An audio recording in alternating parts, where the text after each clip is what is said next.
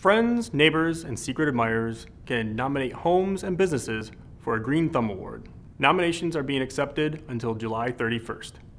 The Saline Parks Commission has coordinated the Green Thumb program for more than 15 years.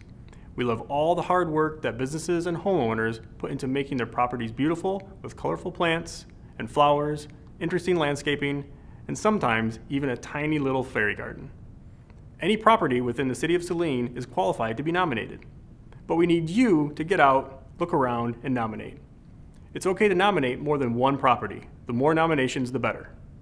Nomination forms can be found at City Hall, Saline Library, the Rec Center, and conveniently online at www.cityofsaline.org forward slash parks.